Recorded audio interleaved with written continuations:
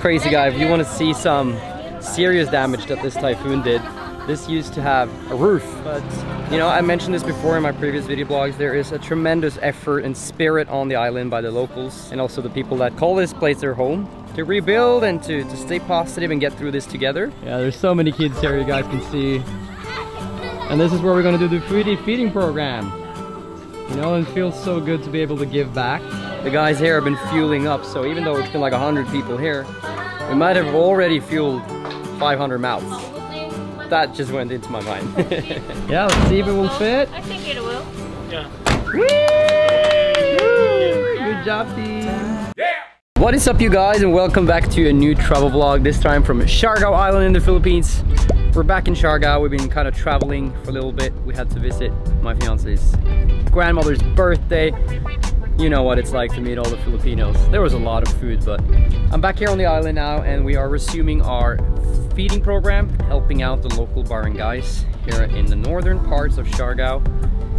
If you're unfamiliar to the first episode I did, Siargao was hit by a super typhoon category 5 in December 2021 only about four months ago, but the, the island is recovering, but we're here to kind of show our support to the local communities that welcomed us when we were stranded here during the pandemic of 2020. So it's nice. We've been receiving a lot of donations from the first YouTube video I did. We've been able to raise about 1,000 US dollars, which is gonna go to helping the local community here up in Tangbo in the northern part of Siargao. So we're very excited for that. So in this video blog, I'll be taking you guys along for the journey we're gonna go into uh, Dapa, which is the main capital here in Siargao. We're gonna be shopping some local fruits, vegetables, and start preparing our food program.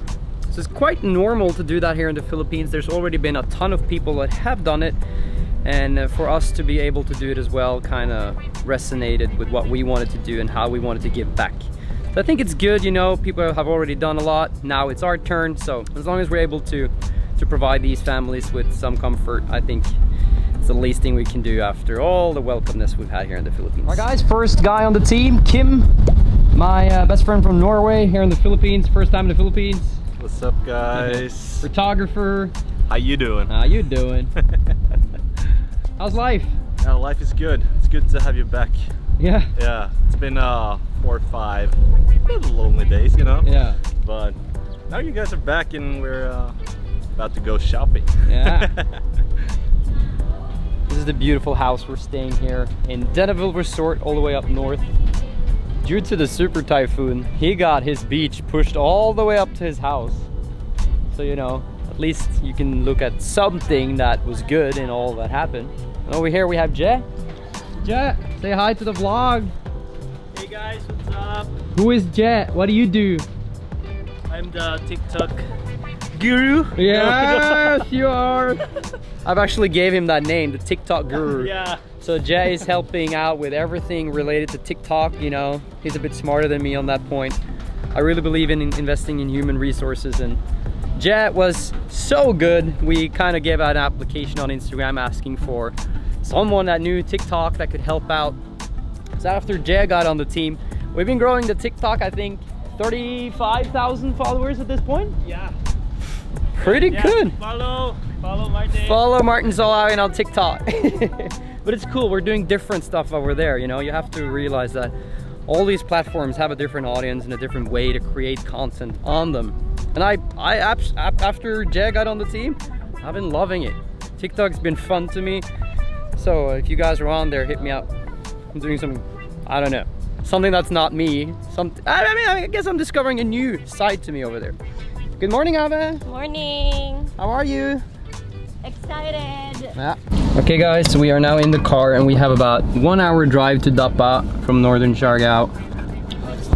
The four of us today, rest of the team is staying back to work on other things. But yeah, it's a long drive. I'll update you along the way.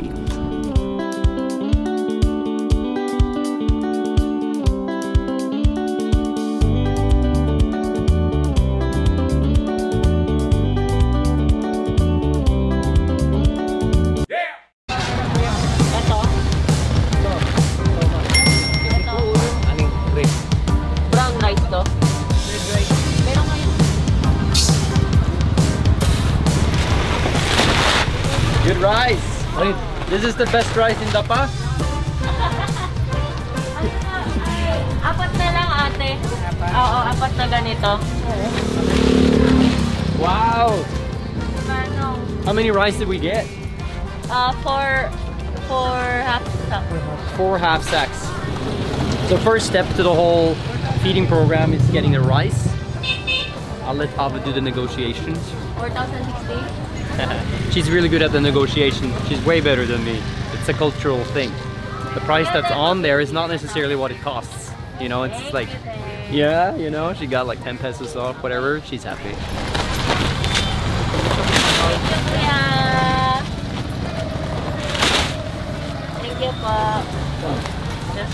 Okay guys, so we now have the rice. Now it's time to move over to the vegetables.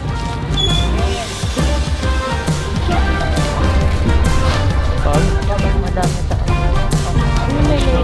Ah, pwede dito?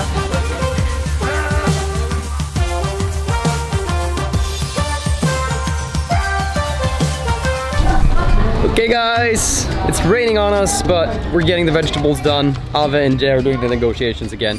We found this really nice market in the middle of Dapa that tends to have a lot more cheaper produce than the other places. I think this is kind of where all the kuyas and ates go to buy the vegetables that they sell at their sari sari stores. This seems to be like ground zero for vegetables, okay? Wow, Jay! Do you need any help Yeah? carrying? Nope. yeah. very-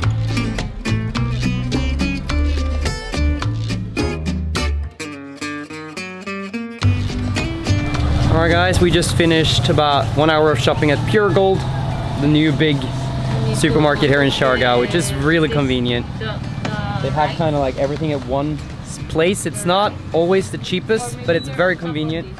And obviously it's you can find a lot of good products there. So we were able to finish off the shopping today. Everything you see here is close to six, seven, There you go. six hundred dollars, I think, at this point. We haven't final done the final computation, but it's that's kind of what I think in my head. It's Yeah, let's see if it will fit. I think it will. Yeah. Good job, team.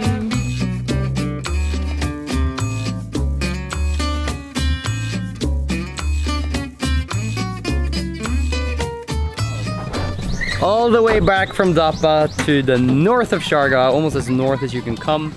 There's a barangay called Barangay Tangbo, and this is where we stayed. Right here in this house during the lockdown of the world. We were here for like seven, I think six, five months at least. But, you know, they're still kind of recovering it, but it's kind of like a very nice concrete house centered in this very beautiful barangay with a lot of wonderful people and kids. Hi! Hi! Hi! I saw you! yeah, there's so many kids here you guys can see. And this is where we're gonna do the foodie feeding program. You know, it feels so good to be able to give back. This is our first time ever doing this. We're not professional at it. But we still feel like we wanted to give back. Hi guys! Oh, hi! Hello! now we're gonna carry all the stuff into the house. Let's go. Go Jet! Hello guys!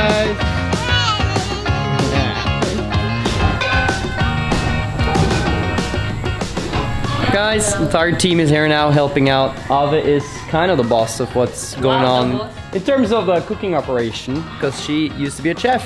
So we're just here to take orders, help out as much as we can, make sure this is successful.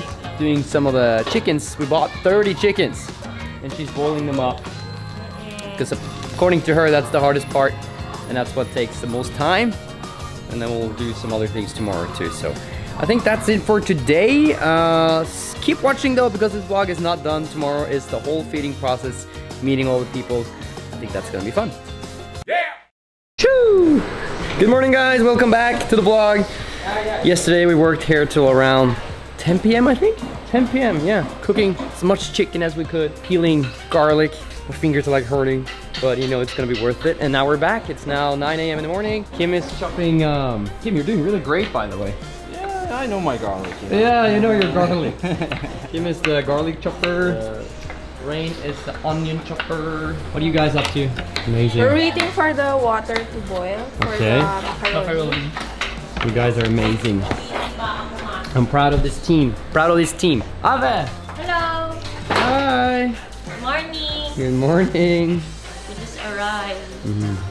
Happy ka? Yes, happy. Very happy. Amazing. Well, We just don't do vlogging, but we're also happy. Yeah, exactly. I just need to document a little bit. So we're gonna cook up the meals now. I'll probably vlog a little bit. We'll see.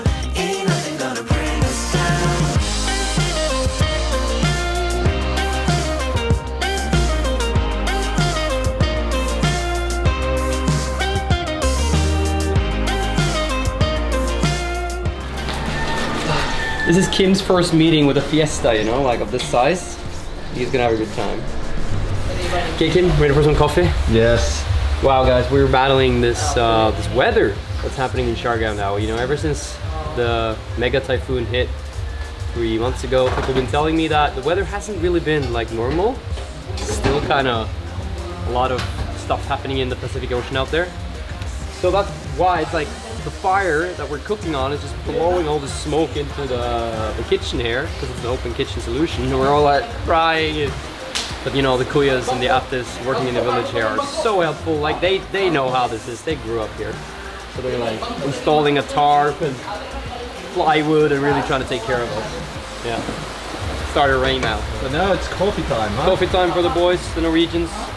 Can't go more than two hours without coffee we start getting grumpy. This is called a French press. It's, uh, I expect it's an invention from France, but you never know, right? Okay, update. Food is almost done, thanks to the guys. And while they've been working really hard, me and Kim, we've been gathering now the final list of all the donations. 16 people came together and donated for the cost of what we're doing here today. Really, really thankful to everybody that did that. You know, just by also watching the video, you are making it possible for us to do this. So, you know, thank you so much to you as a viewer too, and a special thank you to those who went even further and donated. So right now, Ava's sister Rain, she is gonna write up all the names that donated. And as a Marve watcher, you're automatically there because you're part of Team Marve.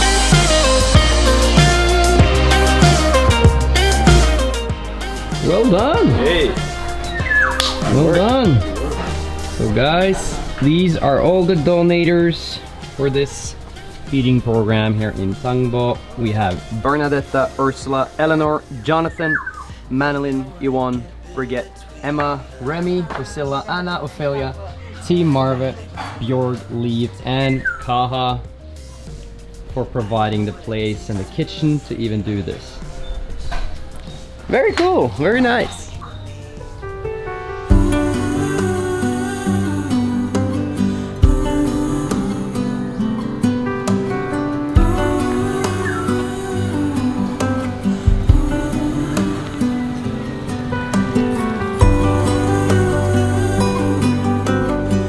The hidden heroes of Kaha hasn't really been shared yet.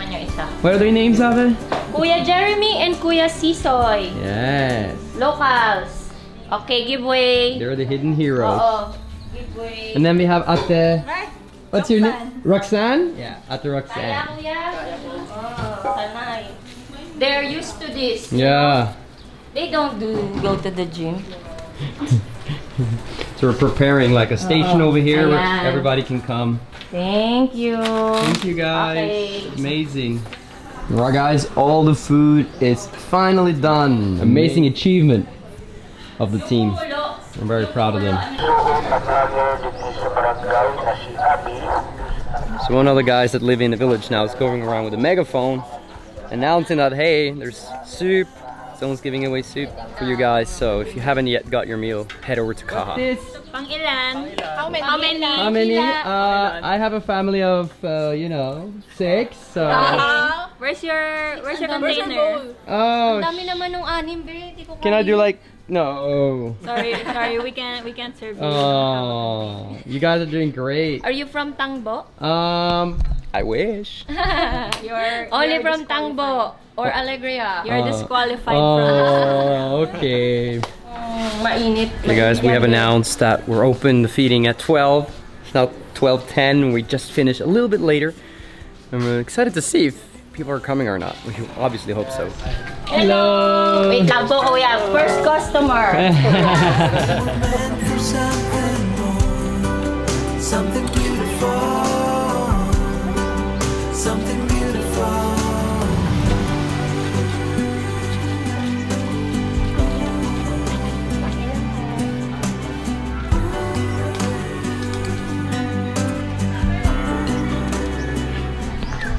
All right, so the feeding program has started. It's really cool. First people are coming over. We had served our first meal. I think so far we've served about 20 people. Even the dogs are coming out now. Like the whole, the whole family. Yeah, nutritious stuff. You know, this is gonna keep them going. I love it. And this community right here in this village was so welcoming to us. You know, when we lived here, and that's why this feels so good to be able to give a little bit back. They definitely deserve it. I know there's other communities on the island too. You know, the reason we chose this one is just because this is where we knew people how how we could help. So, wow, even has the Marvekada shirt. See that, guys? Cool T-shirt. Hello!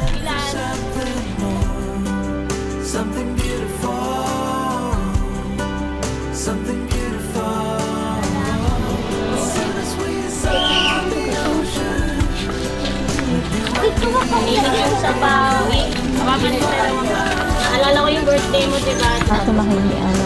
Kasi baka ma... May kipil. Kawawa naman. Ay, ilan? Sandok na, kamangag pa.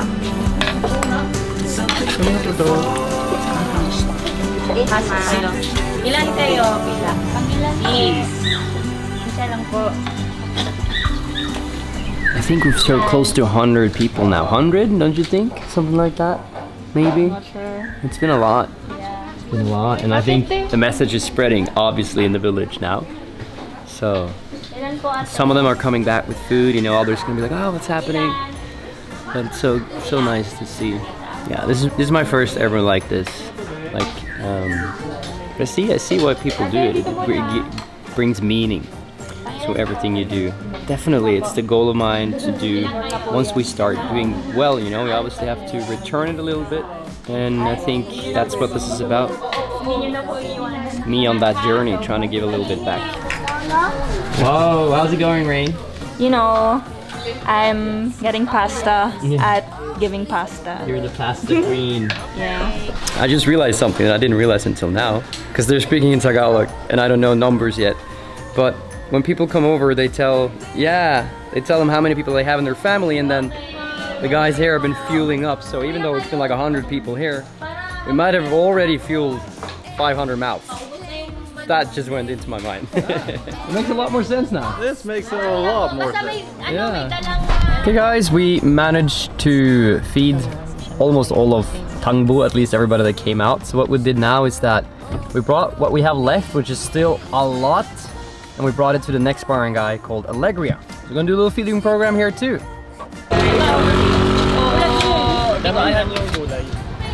It's crazy guy, if you wanna see some serious damage that this typhoon did, this used to have a roof. And I've seen some really crazy videos where the whole roof just got blown off during the height of the typhoon. But, you know, I mentioned this before in my previous video blogs, there is a tremendous effort and spirit on the island by the locals and also the people that call this place their home to rebuild and to, to stay positive and get through this together. Okay? We're doing a little bit. If everybody does a little bit, we're gonna get a long way. Ilan po to? Apa. Ilan po to? Ay, Yeah. ilan to? Guys, third location. Very nice. So many people are coming out. Hi, doggy. Even the dogs are coming out. Wow. lang. Oh, kanina po. Yay! Alright guys, that's it. We finally managed to give out all the food. Surprisingly, it was a lot more food than what we thought. Yeah, it was surprisingly a lot more food than what we thought and it was really cool to see how many people it could feed. So now we're just bringing the pots back and calling it a day. We have enough budget for the donations to do this one more time, which I think we're gonna do maybe two days from now.